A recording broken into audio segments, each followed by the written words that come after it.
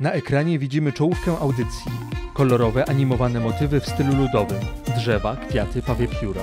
Oraz tytuł Młodzi zdolni Małopolanie. Na sali sportowej trenuje młody koszykarz. Słychać jego głos. Na ten moment nie wyobrażam sobie żyć bez koszykówki. Celne rzuty do kosza z bliska i daleka.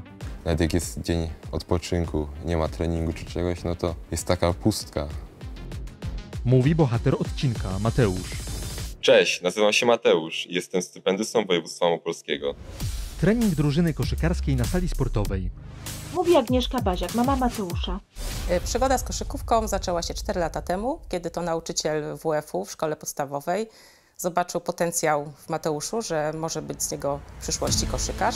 Mówi Łukasz Bartkowski, nauczyciel WF w Piotrkowicach. Mateusz y, od samego początku miał możliwości do sportu, e, jak i piłki siatkowej, piłki ręcznej, jak i piłki koszykowej. Przez to, że posiadał duże możliwości fizyczne, czyli jego gabaryty powodowały, że da sobie radę w tych trzech dyscyplinach. Razem doszliśmy do wniosku, że sprawdzimy się w piłce koszykowej.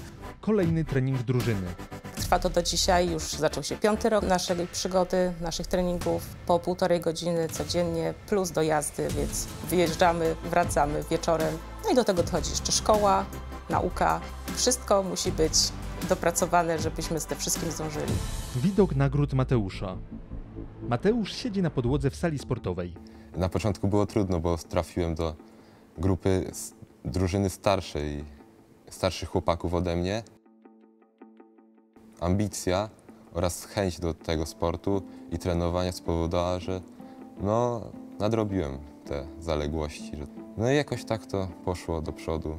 Trenuję do dnia dzisiejszego i sprawia mi to przyjemność. Mateusz pakuje się na trening.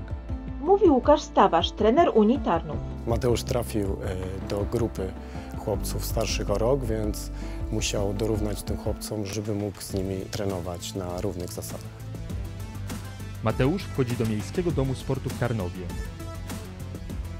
Największym sukcesem Mateusza to w 2019 roku zdobycie Mistrzostwa Małopolski w kategorii młodzików. Znalazł on także uznanie w oczach trenera kadry województwa małopolskiego Piotra Piecucha. Dzięki temu e, znalazł się w kadrze wojewódzkiej i zajął szóste miejsce w ogólnopolskiej olimpiadzie młodzieży. Mateusz w tym sezonie występuje w trzech kategoriach wiekowych, można powiedzieć. Oprócz e, swojej kategorii U17 występuje także w trzeciej lidze męskiej, a oprócz tego zdążył już zadebiutować e, w drugiej lidze męskiej, więc zrobił ten krok w kierunku dorosłej koszykówki. Kiedy dowiedziałem się, że będę grał w drugiej lidze, byłem podekscytowany na pewno, ponieważ jest to coś nowego, coś, na co nie każdy dostaje szansę pokazać się właśnie tak, można powiedzieć, wysoko i w starszych kategoriach wiekowych. Kolejny trening drużyny. Mateusz dostał stypendium w tym roku. Było to dla nas duże zaskoczenie i bardzo duże docenienie tak samo naszego wkładu i jego pracy.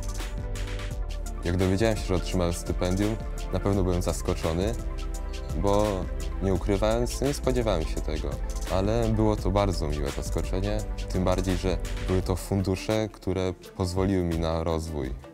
Dzięki pieniądzom ze stypendium pojechałem na obóz sportowy, kupiłem sobie nowe buty, kasa się mi przydała.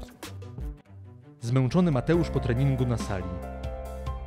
Moje plany na przyszłość to jest na pewno koszykówka i bycie najlepszym w tym, co robię, granie jak najwyżej, jak tylko się da.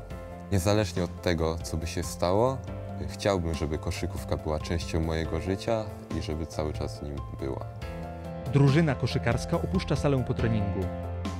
Mówi Marta Malec-Lek, członek zarządu województwa małopolskiego. Zapraszamy do programu stypendialnego. Zostań najlepszym w regionie. Lista realizatorów pojawiająca się obok małego okna z postacią Mateusza. I się uśmiechasz, tylko uśmiechnij się. I cyk. Audycja zrealizowana ze środków finansowych województwa małopolskiego.